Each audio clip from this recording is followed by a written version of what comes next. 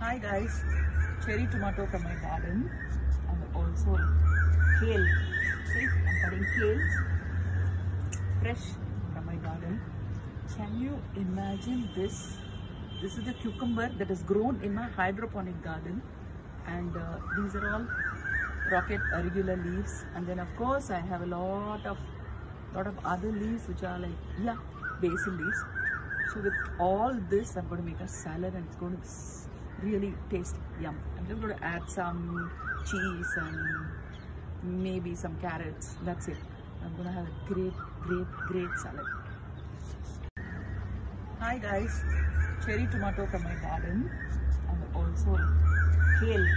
See I'm cutting kale fresh from my garden. Can you imagine this? This is the cucumber that has grown in my hydroponic garden.